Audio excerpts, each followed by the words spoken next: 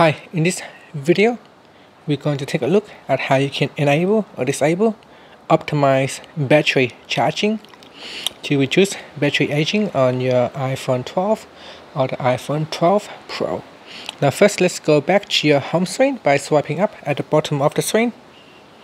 Then we're going to tap on settings and in settings go down and tap on battery then tap on battery health Next, tap on Optimize Battery Charging switch to turn on or off. Now, so here, turn off until tomorrow, turn off or cancel.